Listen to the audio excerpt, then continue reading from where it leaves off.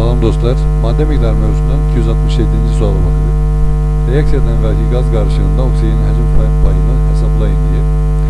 Deməli bir qab verilib, qabın tərkibində 50 ml oksigen və x ml hidrogen var. Reaksiyadan sonra 50 ml hidrogen artıq qalır. Əvvəlcə reaksiyanı yazırıq. Hesablaşdırırıq və 50 e, ml oksigen 1'in 2'ye olduğuna göre yani 1, 1 mol oksigene 2 mol hidrojen harclendiğine göre 50 mililitre oksigene 100 mililitre hidrojen harclenmelidir. Ve reaksiyadan sonra 50 mililitre hidrojen artık kalır. Demeli kabda bir 50 mililitre de hidrojen mevcuttur. Böylelikle hidrogenlerin cemi 150 mililitre olur. Oksijen de 50 mililitre olur. Burada bize diyor ki oksijenin hacim payını hesaplayın. Oksijenin hacim payı 50 mililitre bölünsün. Ee, cemi 150 üste gel 50 vurulsun 100'den buradan demeli 25 faiz oksijen e, ilkin karşılıkta olduğu çıkır. Bir diğer sualımız 290. suala bakar.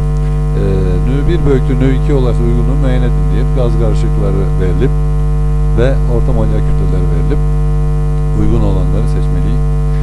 E, burada nü 1 nü 2'ye beraber olsa bu, bu şekilde baksak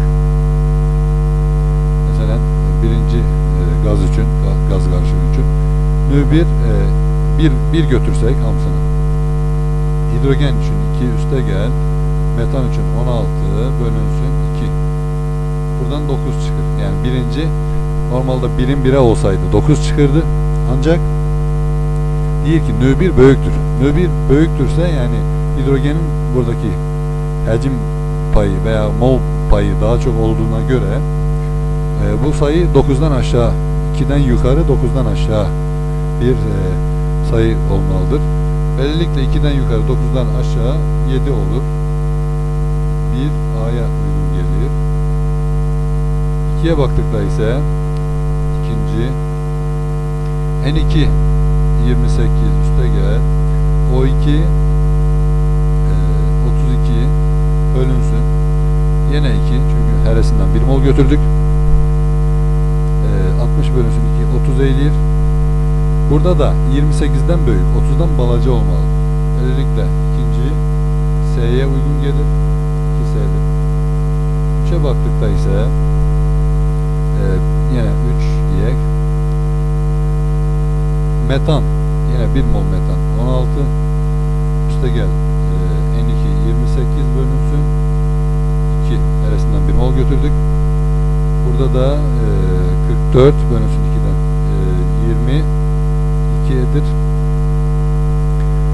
16'dan büyük 22'den balaca olanlara bakırız ve B varyantı ve e, e, D varyantına uygun gelirdi. Veya ki şart D burada da B ve S. B 3 B ve S oldu. Temel 1A 2 D. 3 B S olur